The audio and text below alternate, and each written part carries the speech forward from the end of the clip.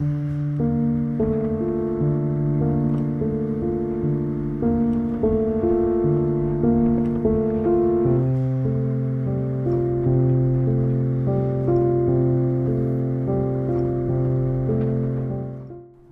della guerra i camion, un camion, un tir con 2.000-2.500 euro, sapendo che erano aiuti umanitari, si riusciva a portare qua, che comunque erano soldi, però su un volume di un camion, di un tir, di un, di un 30 bancali, ci stavano 20 tonnellate di, di cibo, ci stavano.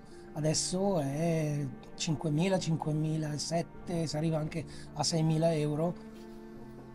Fa, spiace un po', sinceramente, pensare che con quei 6.000 euro del camion, eh, solamente del, tra, uso una parola, buttati nel trasporto, qua con 6.000 euro ai prezzi ucraini, senza dover andare a comprare merce di prima scelta.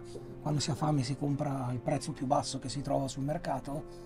Con quei 6.000 euro si può andare avanti un mese e mezzo per varie associazioni. With this every day that uh, this is horrible situation is finished and uh, we return a normal uh, situation that we can normal to go to work normal normal to go in vacation without to be guilty that you go in vacation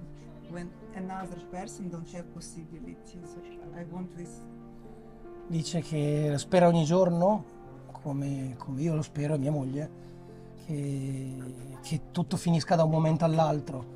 E poter vivere la vita normale, poter andare al lavoro normalmente e poter andare anche in vacanza, lei ha detto questo, non avendo, non avendo quella sensazione di colpa che gli altri stanno soffrendo e tu invece vai in vacanza. Questa è una cosa che sento anch'io, nonostante non sono ucraino, ma ormai ce l'ho nel sangue, nel cuore soprattutto. Mi viene difficile pensare, infatti ne parlavamo giusto ieri e ci piacerebbe andare in vacanza. Sì, ma non ce la sentiamo. Not only vacation and go just maybe in restaurant and stay relaxed.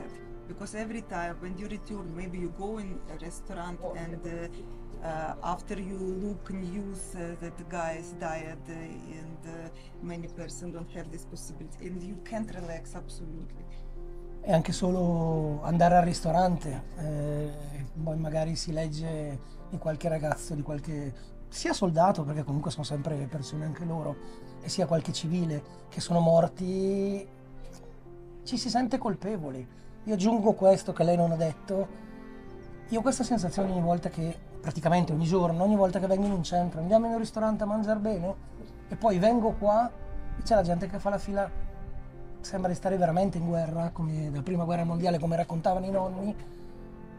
La fila per il pane, la fila per il sacchetto.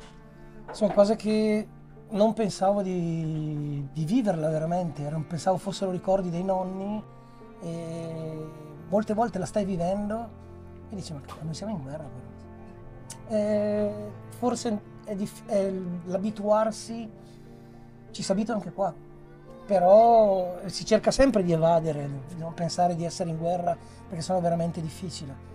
Però quando si notano i contrasti, il ristorante è buono e gli altri sono qua a fare la fila, è pesante, pesante, ci, noi ci sentiamo colpevoli.